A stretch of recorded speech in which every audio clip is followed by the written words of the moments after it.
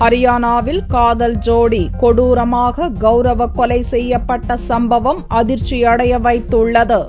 ஒரே கோத்திரத்தைச் சேர்ந்த ஆணும் பெண்ணும் காதலிப்பதை வட மாநிலத்தவர்கள் ஏற்பதில்லை. அதுபோன்ற ஜோடிகளை பெற்றோர்களே கௌரவ கொலை செய்வது அதிக அளவில் நடந்து வருகிறது.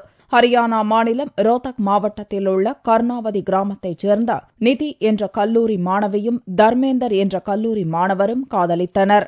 இருவரும் ஒரே கோத்திரத்தைச் சேர்ந்தவர்கள். இதனால் காதலுக்கு எதிர்ப்பு ஏற்படவே இருவரும் டெல்லிக்கு ஓட்டம் பிடித்தனர். தாங்களே முன்னின்று திருமணம் செய்து வைப்பதாக நிதியின் பெற்றோர் அளித்த உறுதிமொழியை ஏற்று காதல் ஜோடி புதனன்று கிராமத்துக்கு திரும்பியது. வீட்டுக்கு வந்த காதலர்களை நிதியின் தந்தை மற்றும் உறவினர்கள் கொடூரமாக தாக்கினர். ஊரார் கண் முன்னிலையில் இளம் மனைவி நிதியை கொடூரமாக அடித்துக் கொன்றனர் தர்மேந்தரை தலையை துண்டித்து கொன்று மைதானத்தில் வீசினர். அவசர அவசரமாக நிதியின் சடலத்தை எரிக்க முயன்றபோது போலீசார் விரைந்து சென்று சடலத்தை கைப்பற்றினர். பிறகு இரு சடலங்களையும் பிரேத பரிசோதனைக்கு அனுப்பி வைத்து நிதியின் தந்தை உள்ளிட்ட நால்வரை கைது செய்து விசாரித்து வருகின்றனர். ஹரியானா முதல்வர் பூபிந்தர் சிங் ஹூடாவின் சொந்த ஊரான ரோத்தக்கில் அரங்கேறியுள்ள இந்த கொடூர கொலைகள் கடும் அதிர்ச்சியை ஏற்படுத்தியுள்ளது.